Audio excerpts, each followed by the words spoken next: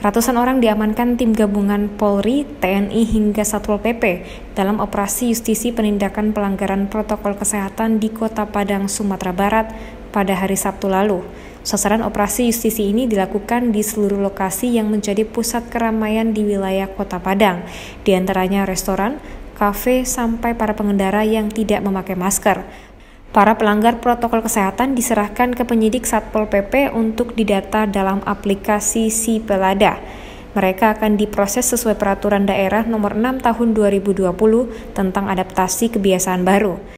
Kegiatan kita malam minggu ini tanggal 24 April 2021 jam 10 malam tadi kita memulai kegiatan gabungan operasi justisi penegakan hukum terhadap pelanggar protokol kesehatan terutama yang masyarakat tidak memakai masker.